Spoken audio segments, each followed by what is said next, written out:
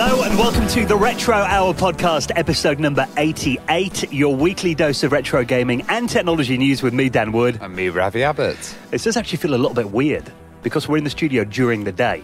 It's bright. What's going on? it's usually dark outside. Yeah, normally we do the show like on a weekday evening. Today, though, it's a Saturday afternoon, glorious sunshine outside. And let's be fair, for us to completely change up our routine, it had to be for a very special reason. Oh, and this is for a very, very special guest. We've got Ian Livingstone, OBE, and this guy is just amazing. All the kind of geek things that I did when I was a kid are down to him. Games Workshop, I spent a lot of time in their store kind of playing with miniatures and painting stuff. And also, you know, we've spent a lot of time playing with Lara Croft and st- still kind of do. She's still your obsession today, oh, Ravi. totally. Everybody knows it. Ian Livingstone, OBE. Now, Ian's actually, so we record the show in Nottingham, and um, obviously Games Workshop, you know, headquarters here in Nottingham. Yeah, he's patron of the National Video Game Arcade as well, so he's very involved with those guys. Yeah, and he's actually in town today, so he's going to be coming in the studio to do this live with us, not over the phone, not on Skype, nothing like that. So Yeah, he's doing a little uh, story smash writing kind of gameplay event at the moment at the local libraries, which Yeah. is cool because he's into his adventure games and all of that. Well, you know, this is going to be one for you know every guest that we talk to who's got a history of like adventure games. They all started with like D and D and you know Tabletop gaming and stuff like that, yeah. And Yeah. then and then computers came around and they're like, oh, we could make this digital. Yeah. you know. So this is going to be such an interesting one. Definitely hang around for it. Ian Livingstone is this week's special guest on the Retro Hour podcast in around 20 minutes from now. Now, of course, we couldn't come in and do this show every week without the people who find it in their hearts to make a little donation into the running of the Retro Hour podcast every week. Now, we do have a little tip jar on our website. And the thing about it is, I mean, it, it's not a, it doesn't have to be a recurring donation. It doesn't, it's not a patron. It's nothing like that. Not a crowdfunder. It is literally a tip jar where you can put a couple of quid in, a couple of euros, a couple of dollars, and it all goes back into the running of this show and lets us come in here and do this every week. Yeah, it's just like a little pot. And we can also do Bitcoin donations as well. So many currencies we Yeah, accept. PayPal, Bitcoin. You find all those links on the front page of our website, theretrohour.com. And then, if you do make a donation, you find your way into the Retro Hour Hall of Fame. Da, da, da. Very prestigious. yeah. Now, this week, we want to say thank you so much to Stephan Ricken, Clive Glazebrook Steve Engledow, and Benny Damsgaard Nielsen. who all made donations into the running of the Retro Hour podcast. Thank you so much. Really does mean the world to us. And you can do the same. All you've got to do is head to our website, theretrohour.com. Now, let's get into this week's news stories. This is pretty amazing. Were you a fan of Resident Evil back in the day? Oh, I absolutely love Resident Evil. It, that and Silent Hill were the games that really got me scared. Actually, Dark Seed got me incredibly scared before that. Yeah. But kind of, you know, for zombies, this one was really good. I think for me, it was Alone in the Dark and then Resident Evil that were the two games that really, you know, the first kind of proper horror games. Yeah, and you're just like, oh.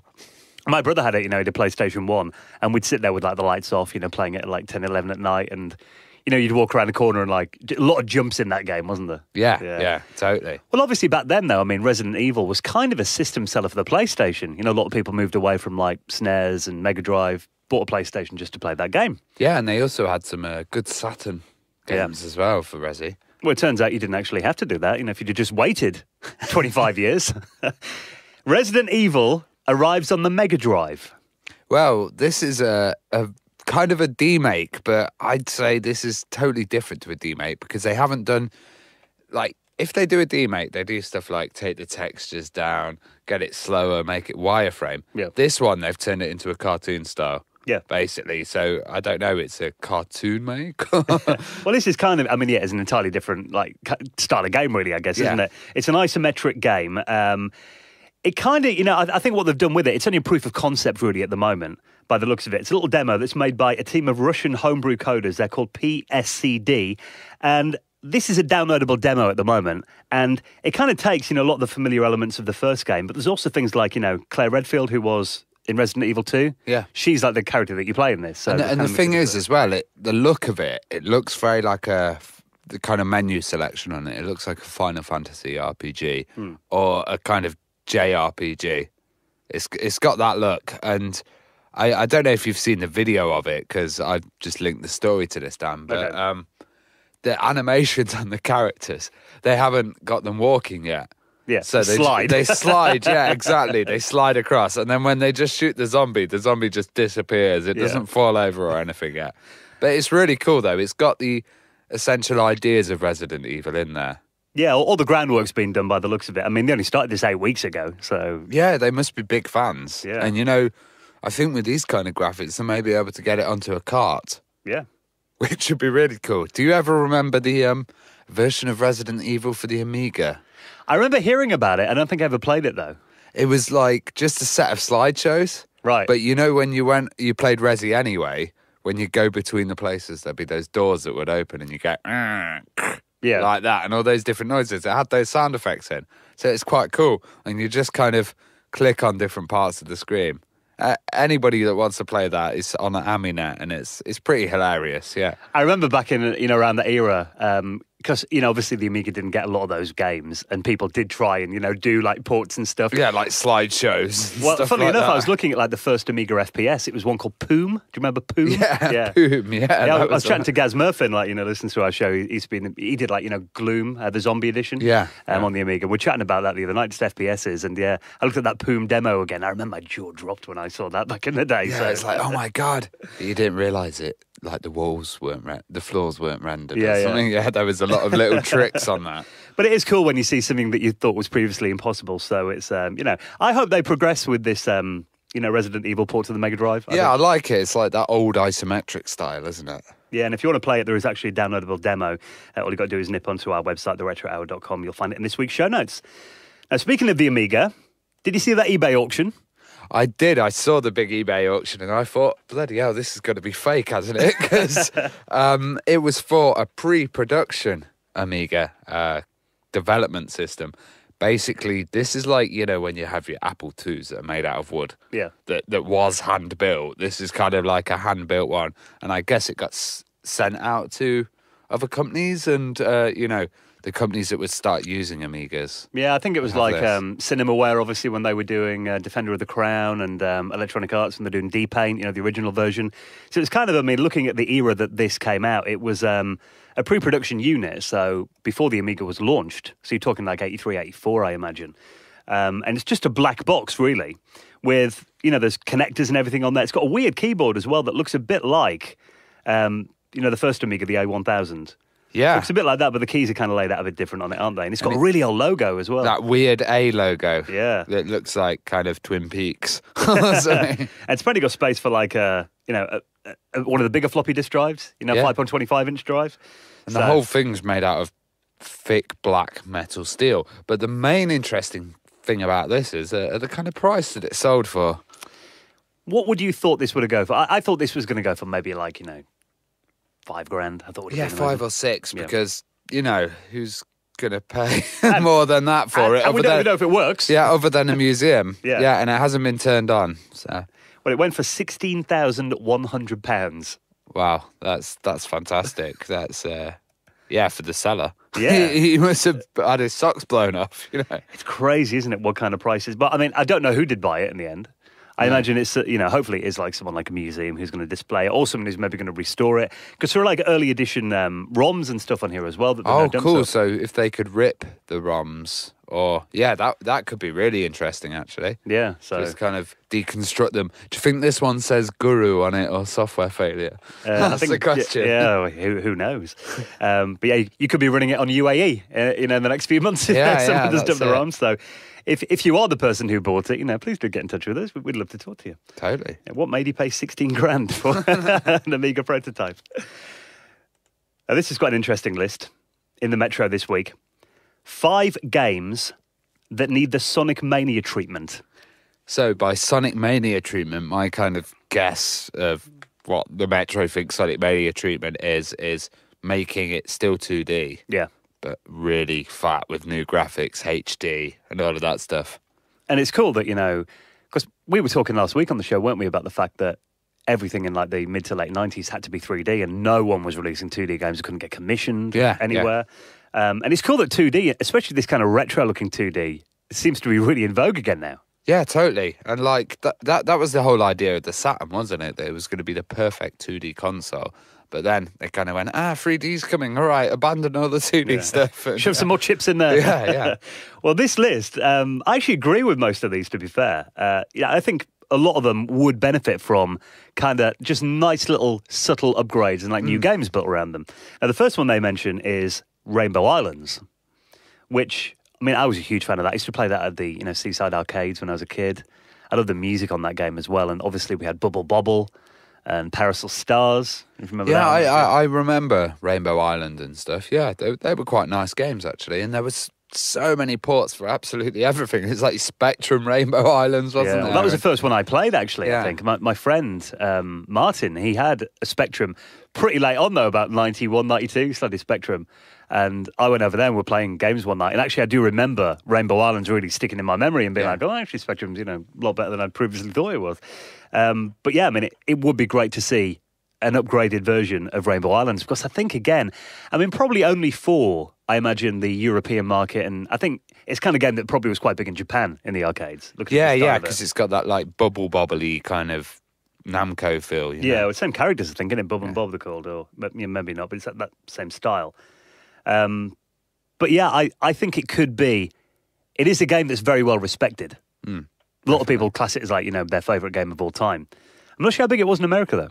No, no, me neither. Yeah, so it would be interesting to know. But yeah, it'd be cool to bring back. I think it could sell really well. This one, when I looked at it, I was a bit like, hmm, because it has had a few upgrades over the years and they've been awful.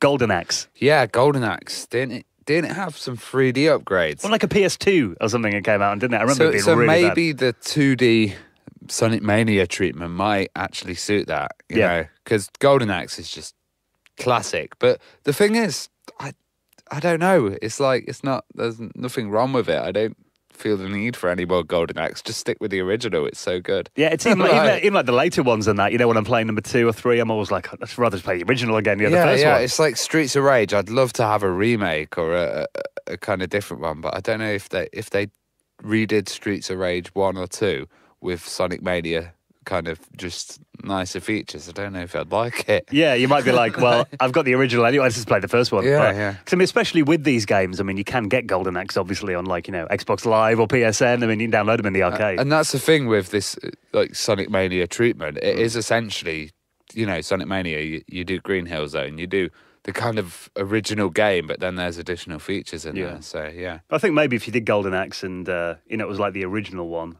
um, but maybe some like cool effects and stuff and some. 'cause that's the thing with Sonic Mania; it's all the twists in it you get, and you're like, oh wow, you know what I mean? It's yeah, like, yeah. Imagine if you could get like different uh, reptiles or animals to go on and stuff. That would be cool. and the magic was always great, wasn't it? On I just like beating those little guys up that gave money. you Yeah. know, when you're at the ow, campfire. ow. Yeah, that's it. Just a whole game of that would be great. no, I always found really unfair about um, about Golden Axe. You get some characters, and to get their magic, you'd only need like four of the little blue things. Yeah. Some of them need like about ten. it's like that's not fair. You know what I mean?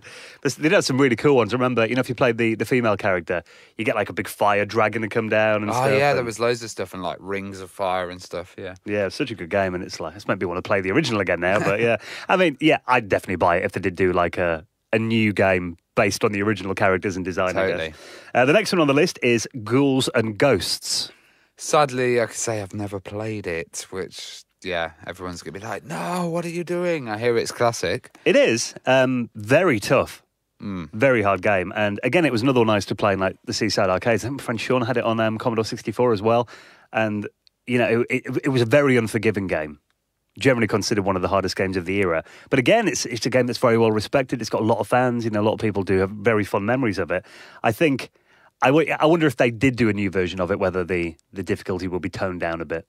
Yeah, So, next one on the list, Joust. That was a very early arcade game. yeah, and uh, the main kind of theme for uh, Ready Player One, Yeah. the final kind of battle. So I reckon that Joust would get massive interest from the public once uh, that film comes out. Well, you look at Joust, and obviously, like like a lot of these early games. I mean, this came out in 1982. The original game was a Williams arcade, and the theme is like you know you fight on flying ostriches, which is a bit Yeah. random. That's, that's a bit that's a bit like Jeff it's not Ninja, your isn't traditional it? Yeah. medieval uh, joust, is it? I think it's a simple game though, but it's just loads of fun. yeah, Which again, I mean, it's like I remember a game I used to have on the um, the Commodore Plus Four. And it was called. Um, it came. You remember you used to get those game packs where you get like the budget games, like four or five on like Yeah, on disc yeah. or tape. And it was it was in one of those. It was on like the B side, and I think it was called Quick Draw. And literally all it was, it was like even black and white graphics really lazy. And he had like, it looked a bit like Pong, black screen with a line down the middle. And he had two, basically the Pong paddles were just like cowboys though. And you'd shoot each other. So you know in Pong Oh, you've got to cool. bounce a ball That's a back. good idea, It'd be the, yeah. first, the quickest one to shoot the other person. Quick draw, yeah. Yeah, like, Like, you've got to press a five button as soon as the countdown comes on. And again, really simplistic game. But we'd play it for like hours and hours. Oh, just one more go, one more go. So it's the kind of thing you look at. And it, you know, if I saw that at like Xbox Live, be like, I'm not buying that. Actually, maybe I'll give it a go. You Oh, know, they've remade it. yeah, yeah, remake quick on the draw, whatever it was called. Uh, and finally on this list, I think you know many people regard this as probably the best shoot 'em up game ever. R Type. Yeah, totally. I, I totally agree that there should be a good remake. But also, I think there has been. Yeah, They've just been under different names, hmm. and it's just not had the R type name. But loads of people have remade them, even even into the few like later stuff on Amiga and PC. There was a lot of kind of shmups. yeah, side-scrolling shoot 'em up. Yeah, that it? were all themed on R type and the kind of ideas that came with it initially. Yeah, so you're right. I mean, I think for a lot of these, it's kind of having the original brands come back is also part of the appeal as well, I guess, isn't it? You know, having a new R Type game. Yeah. But then, you know, like we said, at the, you know, like this list is, if they did the Sonic Mania kind of treatment, I think that's going to get more fans than doing something like this, you know, ultra HD graphics and upgraded. Because a lot of the time, people look at it, they just don't tie with your memories, do they? And people automatically dislike them. So it would definitely be cool if you know it's kind of started a bit of a trend. Now, this is a genre I was never into, really. Uh, apart from one game I used to have. Now, we're talking here about um, football management games. Ah, yes, because the NVA, National Video Game Arcade in Nottingham, are holding a new exhibition. Remember that last one was the um, Dizzy Twins one? Oliver Twins, yeah, Yeah, yeah. yeah. So they're, they're basically going through the kind of history of British gaming and great greats that were in it, basically. And this is the Collyer brothers Mm-hmm. who did uh, Football Manager. A Football Manager is a unique game, Dan. Uh, first, talk about your one that you that you had, your experiences, because I know this genre is not your strength, is it? No, well, we uh, we were googling it before. What was the one I used to play called? Super League Manager. Super League Manager. That was it, and I think I got that on a cover disc. Yeah. So I remember, you know, back then I didn't have the internet or anything like that. So you play all the games that you got on cover tapes and cover discs and that kind of thing. Yeah, and this one, I don't know if you remember it. Um, it was an Amiga game, and you got the manager's desk. But you you put the mouse pointer over the cup of coffee, you click it, you go, Yeah, it yeah, go yeah. down. And, the- and the plant, you go blub, blub, blub. yeah, get your little watering can out, wouldn't you? And then your phone would ring. Yeah, yeah, yeah. And, and you'd have to keep doing all this stuff all the way till match day. Yeah. And then you'll be like, ah, and then you lose the match. And you'd have to try and buy and sell. Totally. Yeah, I had no idea what I was doing with most of the game. Shuffle the papers around and answer the phone. I actually found that quite fun though. But when it, it got, you know, the more advanced games, it was all statistics and, you know, I know nothing about football. Yeah, it was really strange because Football Manager kind of it was one of the most advanced ones, but it it kind of ignored the football. Yeah. so basically, you get to the point that there was a match, and it would be a text description on the screen. Hmm. So this is like you know my mates would be using Windows ninety eight. Yeah. Playing it, so you know, you think of the other games that are on there. It's not going to be text, but this game was so addictive. You know, you'd be sitting there and it would write a description like, I, I don't know, Gascoigne kicks from the left corner. It's going in near the penalty box. Hmm. It flies across, and then it would it would kind of describe it like that, and it, it was really exciting. And I remember my friend basically. I used to go around his house nearly every weekend, and he'd be sat there in his pants, just hitting the space bar, playing. I haven't left the house for five Yeah. days. and I'd have to drag him out and go, "Come on, let's go meet some girls." well, it started as um, Championship Manager, wasn't it? Yeah, was, yeah. On the, it was a Sega game. Is, does Sega still produce it? Uh, no, I'm not sure. I think I think there's a lot of there's a lot of kind of football manager, championship manager. There was there was two brands going at the different time and they Yeah. were competing. So I, I my memory's a bit shady on this one. Yeah, but uh, Sports Interactive, it says in here. Se- Sega Europe are the publishers. So, I mean, you know, I think maybe that was a lot later on. Like when they started, it must have been um, just those guys, you know, because it was it, it felt like a bit of a PD game at the beginning. you Okay. know. Yeah, oh yeah, Championship Manager was the original. Then it got renamed. Yeah, yeah. Uh, So- interesting, but I mean, again, it, even though I know nothing about football, it, you know, I've never even played Championship Manager or you know Football Manager. It's a, it obviously a franchise that's still going now. I mean, I'm looking here. The new game's coming out November 10th. Yeah, and and like like the Dizzy game as well. This was made by two brothers, so uh, it's kind of got that unique, you know, feeling of it. It's really good, and the main the main thing about it is the kind of gameplay drives it rather than the graphics, Yeah. rather than any of the other stuff. You know, that comes secondary. Well, they're doing this exhibition. Apparently, there's going to be like rare works of art in there as well. Uh, things that you've probably never seen from it before from the development. So, Well, it's just opened, Yeah. hasn't it, as well? So that's going to be on for quite a long time. So feel free to pop down to the NVA and get your football manager on. yeah, I I love the name of it as well. Football Manager: The Beautiful Exhibition. Oh, nice. Yes, a beautiful game. Now, before we get into this week's special guest, Ian Livingstone, I thought this was pretty neat. This story got submitted by Phil H. He sent this to our website. A product that lets you use an Atari Jaguar controller on your PC. Have you ever wanted to do that? never. no. The, thing is, I've never used a Jaguar controller. I've always seen them and I've always heard people dissing them, but I'm not going to troll it or flame it because I, I've never touched one. I've never kind of know the feel. You own a Jaguar, so Yeah. you must know this. Well, uh, yeah, I've, I've actually got three controllers for the Jag.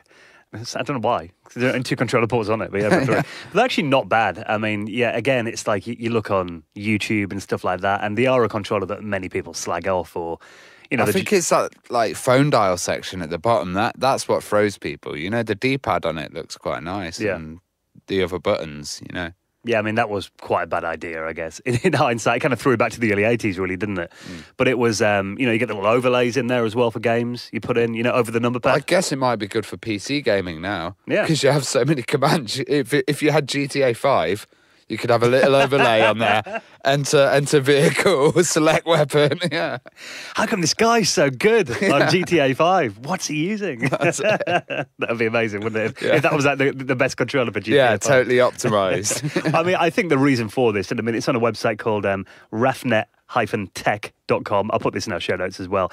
They actually do adapters um, that essentially you plug into a modern PC via USB.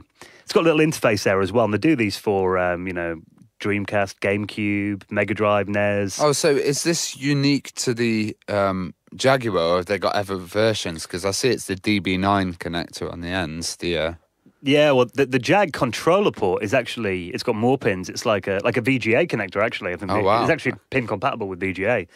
And the Atari STE, the enhancer model, had those ports on the side. ah. Bizarrely, because they were the ones that no one ever used, and the actual joysticks were underneath on the Atari ST, so I could pull it out every time. But I think you know the reason they do all of these different interfaces, because you know you've got, you've got to buy a different one for each um, type of controller. But it's really to use it on emulators, which you know it, that makes a lot of sense, really. Yeah, totally, totally. I'm just thinking of mad uses, like you know, But I think you know if you're going to play Alien versus Predator, or you know, it, it, or just a drum machine. You know, using using Atari Jaguar Yeah. controllers, yeah. But you know, I, I think playing those games because they were designed for those controllers, and often you look back, you know, I use emulators now and then, but using the keyboard, it's like the games that were designed for pads or sticks. Also, they're quite, you know, can get very expensive. So maybe emulating, and I, I don't know what the um, Jag emulator scene is like, but um, you know, emulating might save you a bit of money compared to getting the original hardware, especially with some of those Jaguar CD ones.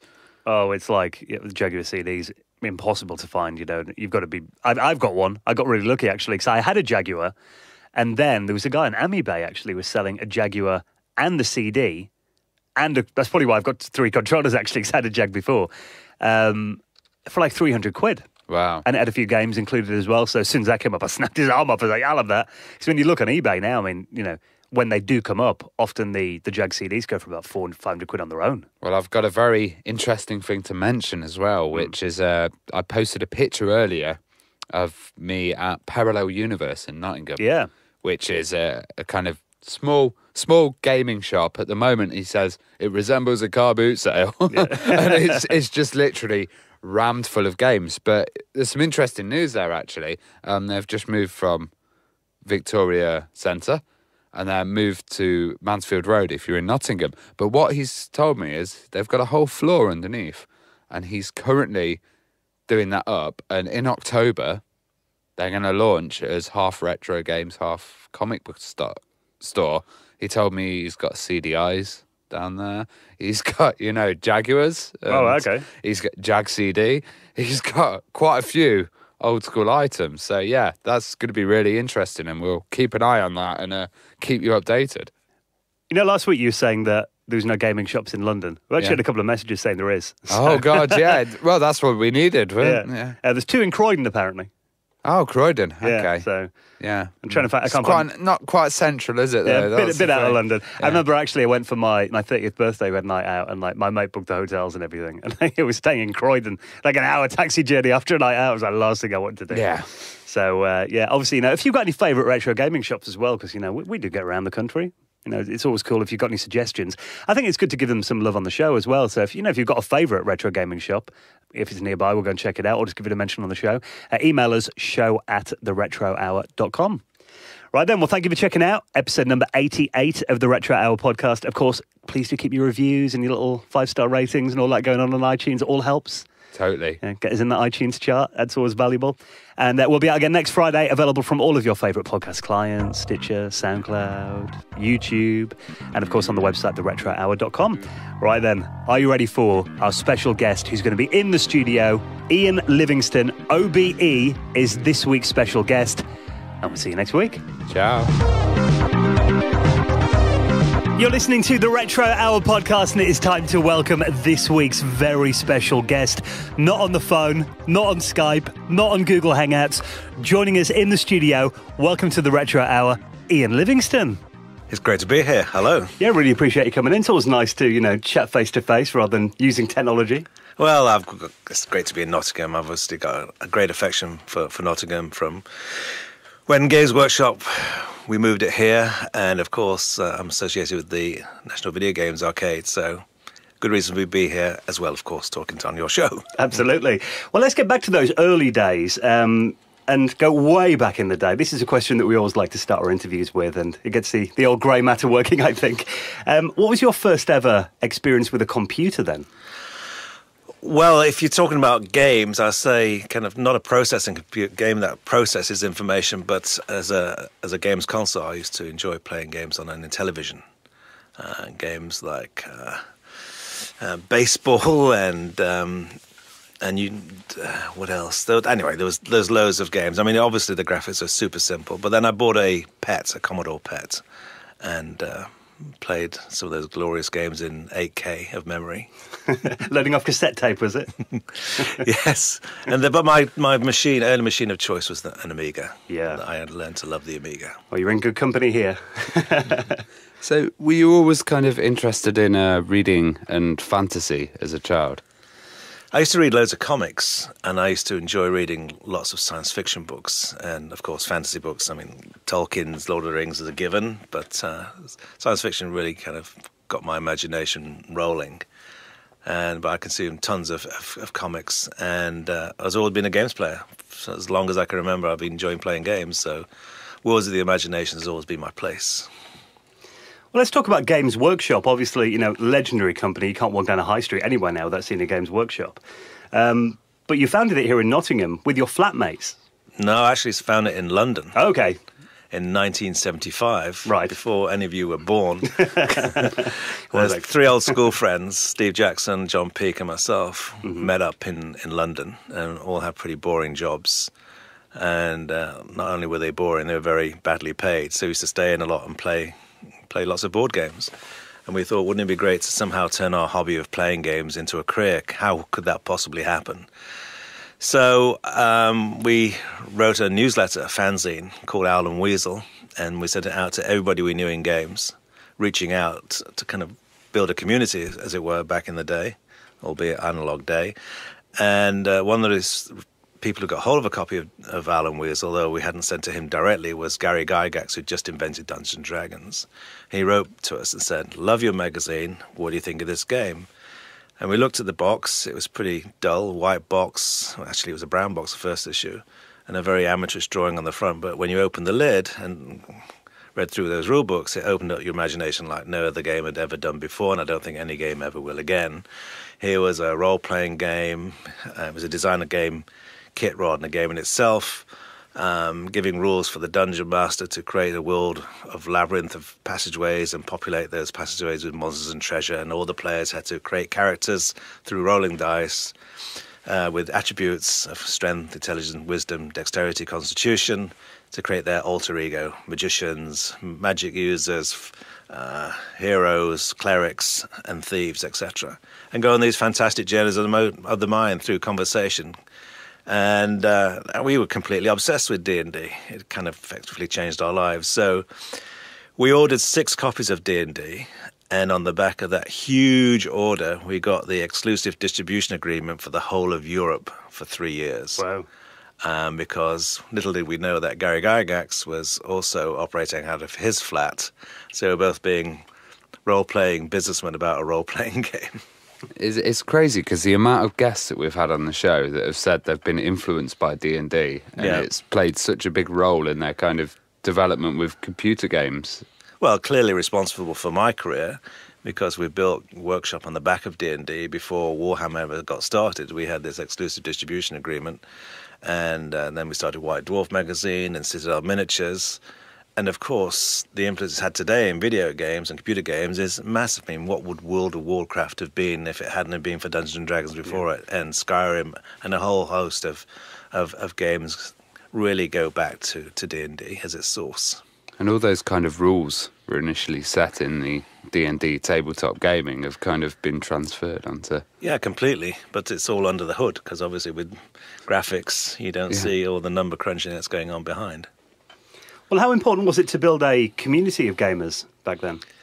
Well, clearly there was no internet at that time, um, no mobile phones, so it was really by meeting up and through newsletters and correspondence. So it was very small, but we were kind of making up as we went along. So workshop operated out of our flat for a number of months. Um, people used to arrive on the street looking for this shop. Of course, there wasn't one. We used to see them downstairs, open up the window, looking for Games Workshop up here, mate. So you had to climb up the three flights of stairs.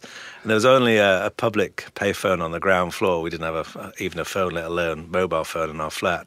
The phone would ring and. Uh, it was obviously going to be a telephone sale for D and D. We used to rush down the stairs. Always too late. Our landlord was there first. He'd go and go all grumpy and hang up on them. And we understood the value of PR pretty early on. So we eventually got kicked out of that flat. And uh, John left, and Steve and I went off to the States to attend Gen Con in 1976 to sign up all the fledgling games companies and, and meet Gary Gygax and the, and the others at, at TSR. And that was amazing because we came back and we ended up having to live in a van for three months because uh, we'd been kicked out of our flat, uh, had virtually no money, it was all tied up in stock. So you go to the bank manager and say, I've got a great idea. It's a role playing game in which you kill monsters and find treasure and uh, blah, blah, blah. And he looks at you rather like a dog watching television. Yeah. thinks you're completely mad. And uh, so we had to find a little office to, to rent. And uh, so we, Steve had a van, Van Morrison. And our office conveniently was, was next door to a squash club. So we parked the, the van outside the squash club, got out at seven o'clock in the morning for a shave, a shower, etc., and got really good at squash by default. And into our little office. It was really the size of a bread bin. When a customer came in, one of us had to go out because there wasn't enough space No, wow. and uh, that finally got a bit tiresome. So we opened our very first retail shop in Hammersmith in 1978, and there was a huge queue there, and the community really started to build around the shops. And that's one of the things I think that still exists today. Getting back to your original question, is that rather than hire traditional retailers from Marks and Spencers and the like, who knew how to sell but didn't know what role playing games and, and hobby games were all about, we hired uh, games players, and they might have looked like Visigoths, but they were so passionate about the games uh, in the same way that we were that they you know tell kids how to not only how to learn the rules but how to paint the miniatures and you know, what they should be looking for and how to expand and all the peripheral items that go with the role playing game. So they were hugely influential and, and, and ended up selling loads of stuff because of their passion. So we'd like to think that we built up a kind of Games Workshop experience um, rather than just being a sort of place where you came in and bought something and walked out. Do you remember that opening day still? Yeah, Yeah. I've got a photo of it. I've been trying to uh, to to meet people who were in the queue. I've got a photo of the. It was April 1978, and I've met like three people now. We're going to try and do an Abbey Road reunion shot one day, Wow. all in probably in wheelchairs or something.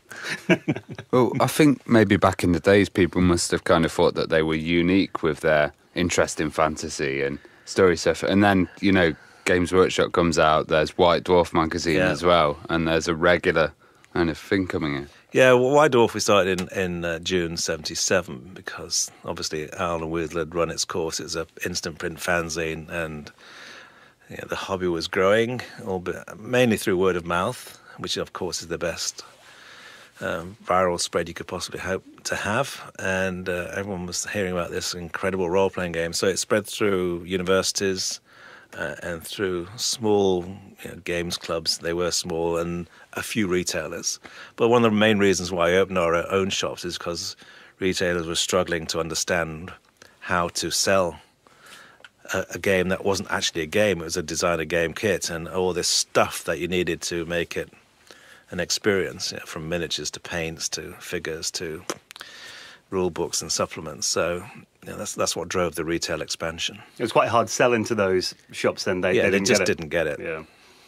So obviously you produced um, the first interactive game books as well. Yeah. Um, Where did that idea come from, and did anyone kind of dismiss it at the time? Well, we've been selling D and D from seventy five to seventy eight, playing it you know, obsessively ourselves, um, and we wanted to try and take role playing to a much wider audience because and D was still quite a struggle for some people to get their heads around. So we wanted to kind of get a gateway entry point for, for role playing, and Steve and I talked about this endlessly, and we came up with this idea about interacting through a book. And we ran a, a games day in 1980 in London, and uh, there was an editor from Penguin Books who attended and was fascinated by you know 5,000 people obsessing over D and D and and other role playing games, and, and she said to us. This is amazing. Would you like to write a book about this hobby that I see before me? And we said, well, rather writing a book about the hobby, why don't you let's write a book that gives you an experience of the hobby, I a basic role playing experience. And she thought that was a great idea. So we sent in our synopsis. Um, she took it to the MD of Penguin Books, who apparently laughed it out of court. Said this is preposterous. No one would want to have an interactive book. That's just a you know crazy idea. So it took a, a year of her, you know, brilliance in in, in believing in, in the concept. Geraldine Cook was her name. And finally, this synopsis, which was called The Magic Quest, was published as The Warlock of Firetop Mountain, the very first Fighting Fantasy game book, which came out in 1982. And it, that really spread through chat on the playground, just a few pockets of schools up and down the country, and then suddenly it became a huge craze. And um, Fighting Fantasy game books ended up selling 20 million copies. But during the early days, um, it was just extraordinary how the, the the establishment just didn't get it. For example, the Evangelical Alliance published an eight-page warning guide about fighting fantasy, saying that because uh, you're interacting with ghouls and demons, uh, clearly you're going to get possessed by the devil. a, a woman in deepest suburbia apparently phoned her local radio station, said that having read one of my books, her son levitated. So the kids were thinking, "Oh, one pound fifty? I can fly, really? That's, yeah, bargain." If anything, it makes you want to buy it more, doesn't it? Hearing those stories. The local vicar promised to uh, chain himself to the railings of Penguin Books until they were banned. There were petitions, uh, people, groups asking him to burn the books. Meanwhile, all the kids were thinking this is uber cool. And the reason they were so worried, I mean, there was even articles saying, danger, children are using their imaginations to a dangerous degree. I mean, I'm sure the idea is for children to use their imaginations. And they were getting a whole bunch of kids reading who had never enjoyed reading before, reluctant readers. And over time, it was proven that Fighting Fantasy game books improved literacy by 17% because it was empowering. These were books in which you, the reader, are the hero, an interactive adventure where you make a choice at the end of every page. So it was branching narrative with a gain system attached to it. So every decision point, you might meet a monster and you roll dice to see whether or not you defeat that monster. So there was many, many ways of going through the book, but only one absolute correct way of doing so. But um, yeah, it was extraordinary that most of the press at the time was negative. But that's always been the case about the games industry. So, game book, people think it's trivial because it's got the word game in it, even though children were reading, which surely is the point. And it's actually the anniversary at the moment. It is. It's the 35th anniversary of Fighting Fantasy. Oh my God, that's making me really ancient, which I am. Yes, and we've got a new new publisher, uh, Scholastic, who are the largest children's book publisher in in the world, and they've seen a, recently the uptick in the genre because those who'd read Fighting Fantasy back in the 80s have now got their own children and were saying, yeah, hey, son, hey, daughter, I used to read these. Now, normally kids reject out of hand anything that their parents say is cool. But it's great that they seem to like it as much as their parents did back in the day because they are interactive, they are making choices, they are empowering, and they kind of talk to Generation Z who behave like this naturally. So, an, an interactive experience is a lot more interesting to them than a, a passive experience. So, uh, an interactive book versus a, a linear book um, seems to tick their boxes. So, I've written a new book to celebrate this 35th anniversary called The Port of Peril, which was uh, released quite recently, last month. Well, writing the fighting fantasy books, you must have been a tough player to fight. well, I enjoy. I like. I love luring people to their doom. Really, so it's uh, it's like sprinkling rose petals towards quicksand. So I, I enjoy all that stuff. But you got to make them. It's, it's quite quite difficult actually to write them because you're writing not only the, the a, a path which which brands, so you're writing multiple storylines at once. You've also got to go back and two. So if you need a key at a certain point, you have to go back in the adventure so to place the key where it can be found and then you've got to make sure that the gameplay balances so it's not too hard, not too easy when you're fighting the monsters.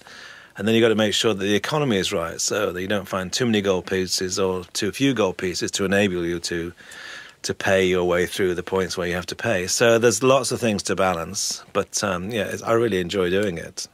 I think they've got a kind of timeless quality as well. Um, fantasy books, especially with like you know being set in very different worlds. My dad would read The Hobbit, and I read The Hobbit when I was a kid. And hopefully my son would read The Hobbit. You know, it's it's kind of a timeless, eternal thing with fantasy books. I think. Well, The Hobbit and all Tolkien's work is you know instrumental in, in many of us enjoying uh, fantasy world because they they didn't they weren't patronised they weren't um, you know, they weren't pretending that it's just little sweet goblins running around fairies and stuff. It was, you know, it was quite realistic and, and gruesome in many ways, but it really kind of kicked off your imagination. And that's what we try to do with the art of fighting fantasy game books. We used uh, Games Workshop artists for the covers. Now, Puffin uh, were the publishers, uh, the imprint under the Penguin Books as, as publisher, and the editors were worried that uh, about the the readers. They wanted to have covers that were very safe. Yeah, big toadstool with little gnome sitting on top and butterflies fluttering around. And we wanted you know, covers that threatened to kind of bite the faces off the readers. so we used our workshop artists, um, people like Iain McCaig, who did Deathtrap Dungeon for me, Forest of Doom, City of Thieves, and. Uh, know he he was an extraordinary artist, and he went actually on to to create Darth Maul for for George Lucas. So you know, we used some of the best artists around at the time, and their sort of attention to detail, the the fact that these creatures kind of leapt out of the covers towards the reader were kind of quite instrumental, I think, in attracting readers in the first place to want to read the books. Well, obviously, when the late 70s came around, we started to see the growth of personal computers. Yeah. Did you look at them and think this would be a good platform for your adventures? Well, I just thought it was a great platform, full stop. Uh, as a games creator, it doesn't, you're kind of platform agnostic. You don't care whether it's analog or digital, as long as you can get your storytelling and your gameplay out to far and wide. So we saw it as a, as a great opportunity, not particularly for Fighting Fantasy at the time, because obviously in the late 70s, the graphics were completely limited. So you could have text adventures, of course. Um, and Penguin Books actually converted some of our books into text adventures, um, on which are available on tape, Spectrum, and uh, Commodore. But um, they were you know, fairly basic. Uh, I didn't really get entered into video games a, in a career point of view until um, the mid 80s. Um, it's when Deathtrap Dungeon was number one of the best sellers chart, a startup company called Domark approached me and said, Would I design their launch product, which was called Eureka? And we had it programmed in Hungary for secrecy because there was a 25 grand prize attached to the first person to find this number through playing the game, which is actually a phone number in a solicitor's office. Um, and so, you know, I really saw the coming of video games, and uh, I ended up joining Domark when I sold out of Workshop in 1991, and, and Domark became Eidos, and of course Eidos, we launched uh, Lara Croft Tomb Raider in Yeah. the mid 90s. Well, how was the process of going from analog to digital then? Was there anything that you, any challenges you found or anything that was better or worse? Um, frustrating, I think, for me because I can't code. Um, you know, I can design, I can conceptualize, I can write stories, but I can't. You know, I'm not an artist and I'm not a coder. So you realize that you're just one of the team, which is a good thing, but it's you don't know always the parameters of what's possible and what's not possible. So you're always having to ask the software engineers or ask the digital artists, can this be done? Can that be done? And how does that relate? It's trying to understand uh, con- concepts that which are f- unfamiliar. But it's it's great to be part of a team, and you've seen now the size of teams. Games like you know Grand Theft Auto Five, you know, with hundreds of people working on it. So you're making these wonderful cinematic experiences, like a Hollywood blockbuster, and uh, yeah, extraordinary uh, interactive experiences. But also, video games speaks to the, the general public as well through through the App Store. And a lot of people are intimidated by games controllers, and yet with the swipe of a finger across a screen, anyone could be a games player. So I think Apple are have really expanded the market, not replaced the market. I think it's been additive, but a whole new you know, generation of people and, and young and old, male and female, are now enjoying the delights of, of playing games on their smartphones. Well, in those early days as well, there was um, a lot of kind of interactive text adventures, games like Scott by Scott Adams, Adventureland, and there was uh, Muds as well. Yeah. Did, did you get involved with? Yeah, I did. I went there? to Essex University with uh, Richard Bartle and uh, Oh, wow. played Mud and back in the day. Oh, nice. And it was fantastic. It was kind of a bit weird, but again, it's a bit outside of my comfort zone because it's playing on a big computer. And I usually am a little analog guy who writes his books by hand on with a pen and ink. But uh, yeah, he was, you know, he did uh, incredible stuff, and it's not always been recognised, and that's a great shame because he was a, yeah, that that could have been, of course, World of Warcraft if he'd taken it to the next level. Yeah, totally. We've had him on the show, and he's Yeah. just fantastic stories about Yeah. those days as well.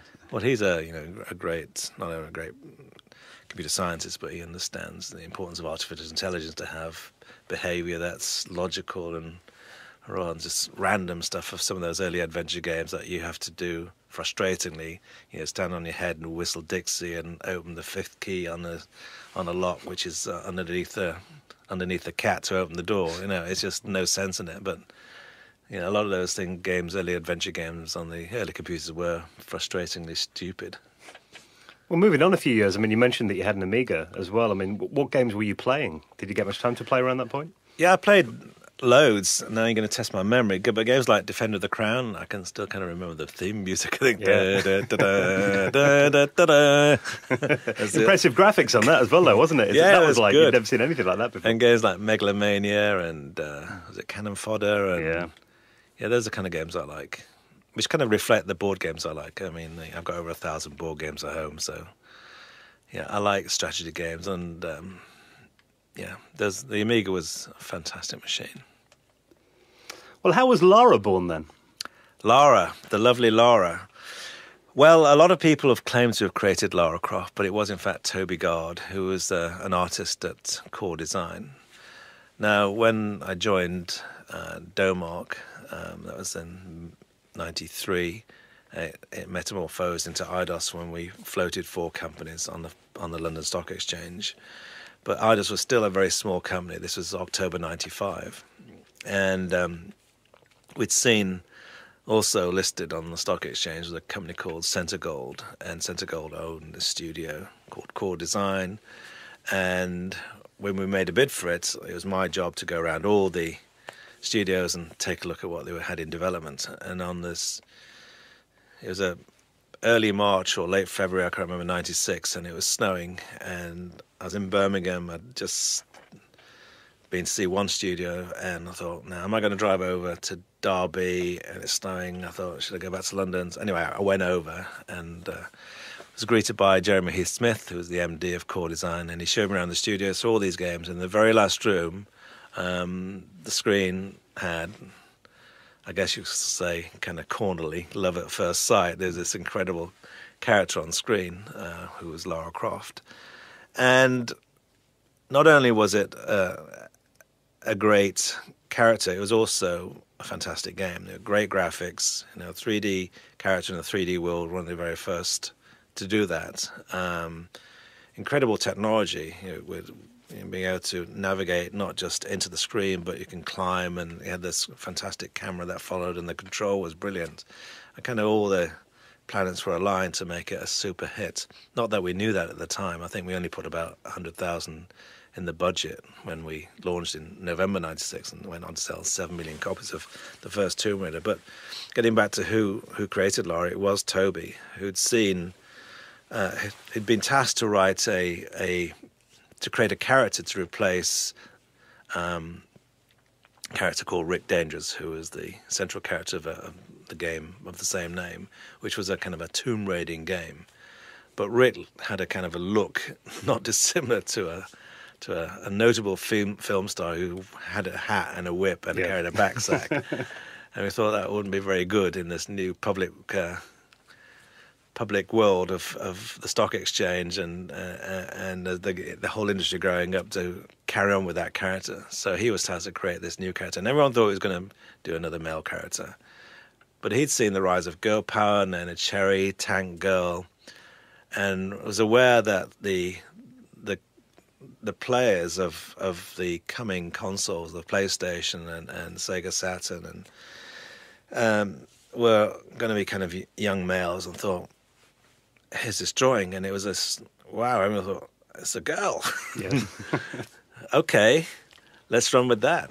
And um, Core Design did, and by the time we we bought the Core Design, it was you know, nearly finished in development. So, you know, the team had done an incredible job, and uh, the rest of the say is history. Well, I know Toby was a massive fan of the um, Sega system at the time, and it initially came out on the Saturn, Saturn didn't it? Yeah. But found huge success on the PlayStation later on. Well, Sony's realised what an incredible game it was, and uh, should we say, made it worth its while to be exclusive on their platform. Yeah. And uh, so we're kind of searching for a mascot yeah. at the time as well. Well, we? you know, hardware doesn't sell itself; software sells hardware, and so it was really Tomb Raider and Wipeout were attributable to the early success of the first PlayStation. Well, Lara obviously be- became a pin-up, really, didn't she? I guess in, in the mid '90s. Yeah, well, it was the '90s, wasn't it? And uh, things were different then. Now she's a lot more realistic looking, and uh, well, Toby had drawn, you know, had uh, sort of rather large polygons on her. Yeah, and, and uh, things were accentuated. And then we, of course, had models who were Laura for the year because we needed um, obviously, Lara Croft's a virtual character, but people wanted to, to appear in, in the press, to open stores, to be at press events, trade shows. So we had a different Lara Croft every every year for until about five years ago, and no longer. Well, it's kind of a mix of action, puzzle, and mystery. Yeah. How balanced was that in the original game compared to the version that came out? Did you have to make any changes? Or? We didn't have too much input on the first one. Um, most of the credit has to go to the, the, the, team itself, and they just had to combine and say this technology and this graphics, but they also understood the three pillars of the of the franchise was this exploration, um, combat, and puzzle solving, and I think that worked well in, in the balance that they had. Well, obviously, Lara became a movie star. Yes. Did you ever visit the film sets and have much to do with it? I did meet Angelina Jolie a couple of times. I'm still kind of recovering from that. Yeah. not only was she was incredibly beautiful, but she was also a you know, wonderfully nice person and super intelligent and, and knowledgeable.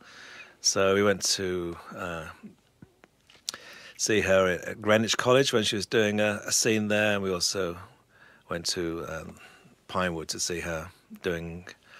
It was the bit where she was running across the Chinese terracotta soldiers, and uh, I, th- I, guess you say I was totally disarmed. I even forgot to get the photograph after the, after meeting her. So no, it was great. She she really was perfect for the franchise. I mean, she did all her own stunts mainly. Um, she was just extraordinary to work with. What do you think of the recent Tomb Raider games? I think Crystal Dynamics have done an amazing job. I mean, Core Design have done a wonderful job in iterating every year a, a, new game, which is huge pressure to come out with a new game because you know we were kind of driving that because the the fans wanted it clearly, the stock market and shareholders wanted it, and they did incredible job. But it came to a point um, with PlayStation Two that things went a little awry.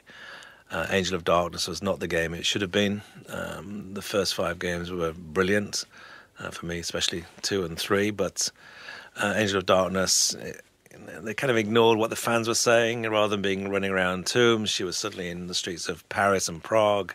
The control and the camera were not up to scratch. Um, there was a lot of, you know, some bugs in there, and unfortunately, Core were not able to make the step up from PlayStation One to PlayStation Two. There had been a, a bottleneck in the in the tech progression, and uh, it was a very very tough decision, but inevitably the right decision to move the development from Core Design to our company-owned studio in California, which is Crystal Design, because they had an engine and uh, and a team there that were more than able to carry on uh, doing it.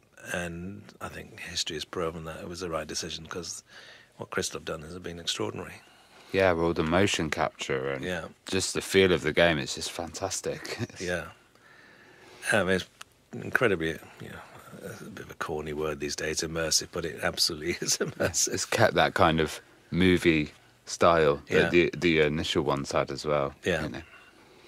I think as well, you made an interesting point there. You know, when you went from the PS1 to the PS2, we kind of forget just how big the leaps were in technology around, yeah. you know, those 10 years. And I guess, you know, the, the more advanced the consoles got, the bigger the games had to be and the more people that you needed to work on them. Yeah, from the initial team of six for, first Tomb Raider now to, yeah, probably over 100 people working on Tomb Raider these days. Yeah, crazy. So, how was the Tomb Raider anniversary? Um, well, Yeah, I seem to be around a lot of anniversaries these days. 35th of anniversary, 40th of Final Fantasy, 40th anniversary of White Dwarf, and and Workshop, and the 20th anniversary of Tomb Raider. Yeah, it was it was good, although I wasn't involved with it too much. I contributed to the anniversary book quite a bit, mm-hmm. And uh, yeah, it's it's just kind of exciting. You just can't believe that 20 years has gone. It's just how did that happen? the blink of an eye. were you involved or did you attend the um, Tomb Raider in concert events that happened in London? No, I, I couldn't go. Unfortunately, I was away. But uh, yeah, yeah, I heard it was pretty pretty special. So, do you think play is something we kind of forget as an adult? You know, we forget how to play and imagine there's a there's a tendency for children uh, for adults to think, "Well, I'm, I'm a grown up now. I shouldn't be playing." And yeah, I think play helps define us who who we are as human beings. Not only is it entertaining, I think play is also educational. I mean, people always say, "Oh, these games should be banned. You know, they're poisoning children's minds." But if you park your prejudice against one or two titles, which children shouldn't be playing anyway because they're 18 rated, but just forget about that for a second and think cognitively what's happening when people are playing games, children in particular. They're problem solving. You can't get through a game without problem solving. You're learning intuitively. You can fail in a safe environment. You're not punished for making mistakes. In fact, you're encouraged to try again because you're rewarded for being right. So you can play through a game in multiple ways. It's not either right or wrong, where education is very binary. You either that's right or that's wrong. And exams reflect that sort of binary decision. And games are very creative. Games like Minecraft, where you're building these wonderful 3D architectural worlds, sharing with the, your friends. I mean, who wouldn't want to become an architect after playing uh, Minecraft? And games simulate real world environments, and I think education should reflect the world around us. So, if you're playing a game, any simulation game, let's take Roller Coaster Tycoon, where you're building a theme park, you're understanding the physics of building the, the the rides, um, the economy of of pricing those rides, the the staffing levels. Uh, this is a management simulation. It kind of it's a, a multidisciplinary management simulation. I mean, what's not to like about that? It contextualizes learning, and you know, we we accept simulations if it's not a game. You know, when would you rather your pilot learn to fly by reading a book or using simulation software? For me, hello, I know that's uh, yeah. simulation software. It's a game without the scoring. Mm. So let's think more positively about games. They can really help children enjoy learning and that's the thing that's missing from learning in schools a lot of the time in secondary in particular is the enjoyment of, of learning so games-based learning and problem solving i think should be in every curriculum well, i think as well you know interestingly probably Lara Croft and the PlayStation had a lot to do with making games more acceptable to like teenagers and people in the 20s. Before that, you know, like Super Nintendo and Mega Drive seemed a bit more like it was aimed at the preteen kind of market. Yeah. Well, I just hope that, uh, again, that's why I was so pleased the success of the App Store uh, and Google Play is that uh, people who never thought for one second they could play a game are now able to. And hopefully, even if they're playing a very simple game, they might migrate onto into games that are more challenging. In the same way that Fighting Fantasy is a gateway to reading. If you start kids off with Shakespeare, chances are you're going to turn them off reading for life. If you start off with Fighting Fantasy or a comic, get them to enjoy the, the, the experience, then when they're ready, they'll get onto these great works of art and literature. Yeah, there's so many people that are like, "Oh, do you play computer games?" No, but I play, you know, Fruit Ninja on my phone. I don't know the gamers, but they are. Yeah. yeah. kind of like the casual gamers are the gateway. Yeah. You're right. Yeah. Um, have you seen a recent revival in the kind of interesting gaming generally? Yeah, definitely. Especially, especially uh, board games. Mm. Uh, I think who'd have thought that you know, board games would come back, but um, they are because well, mainly I think for because of, of uh, crowdfunding and Kickstarter in particular, um, retail shops had, had, kind of not died a death. Obviously, there were specialist shops like Games Workshop selling Warhammer to devoted fans around the world and doing that brilliant job doing that. But for general games, retail outlets were in, in huge decline. But there were still games players out there, and therefore through crowdfunding, they didn't have to be all in the same location. You could sell your game to people around the world, and it's effectively pre marketing in the world telling you whether or not your idea is any good. So you get it funded, and therefore there's no risk because a lot of people who self publish games end up with a garage of 5,000 games and selling 10. But so Kickstarter allow the distribution and to connect gamers globally, and out of that, of course, has come a community. And with the advent of the internet, you've got fantastic game sites, um, bespoke ones like Board Games Geek, and people talking about it on YouTube, like Dice Tower. So you can learn to play a game by watching all the videos on Dice Tower and other sites. So you know, it's a lot of pain is taken away. So everyone can find a game that suits them. They can learn how to play online, and off you go. Well, we were talking before we started recording about you know um, tabletop gaming cafes. You know, there's one here in Nottingham. You drive past it any night; it's rammed. It's yeah. like they're popping up everywhere now, aren't they? Well, it's great social fun. I've been running my own little board games club since the 1980s. I, I do a, a newsletter called uh, you know, the Games Night Club newsletter. That's really dynamic uh, title. And we've had the same six people for nearly 30 years. Another anniversary. and we're on issue 472 at the moment. So wow. there's circulation of six. So people like Peter Molyneux's in it, Steve Jackson, and uh, other people from the games industry. I, I, I, think it's fantastic that there's this kind of tabletop gaming revival because when I was a kid, the only place I could go was Games Workshop to actually play it, or Laser Quest, where there'd be a few kids playing Magic the Gathering. like now, there's full communities, and nearly every city yeah. has probably got a tabletop gaming place. Well, I think it's the social social fun of playing games. Yeah, I like uh, having the sort of smiling assassin approach to games and. Uh, being able to stab your mates in the back, having thought you'd done a great deal. I was looking brilliant in the eye. Yeah. Tear rolling down the cheek. well, do you ever visit Games Workshops then when you're in towns? Do you ever just pop in and? What to head office here, or just like any on a high street? I'm still in contact with with with the company, mm-hmm. uh, and you know, I talked to the CEO recently and and others, and uh, goes to games days when when they're on. But I think well, hasn't been one for a year or so. Mm. But uh, I, I always pop in the shop and have a look around. everything is becoming more and more focused on Warhammer now. Even the the shops are being called Warhammer shops now. Hmm. So clearly, the Games Workshop is just the the holding company, but the brand is very much Warhammer. Well, it's fantastic that you've been recognised with a OBE, CBE, and BAFTA as well. When you were living in that van, did you ever imagine? No, we would were just living the dream. You know, we were games players and trying to eke a living out of making games. And uh, you know, I've enjoyed every minute. I mean, I mean, you're never too young to start playing games. I don't think you're ever too old to stop. And what I'd say, what I try and do is, whenever possible, is try and share the positives around the industry. You know, it's a fantastic industry. The people in it are wonderful. It's not ego-driven like lots of industries because there's no celebrity in the games industry. It's all it's all about the games themselves and so the people working it are great, uh, and and games is a is a is a wonderful experience. I say it's we learn through play when we're born in this into this world. We interact with it. Um, that's how we how we learn, and we never stop learning through play. It's just that we seem to think that play is trivial when you get to a certain age. It absolutely isn't. Well, tell us about your current book. Port of Peril. Yes.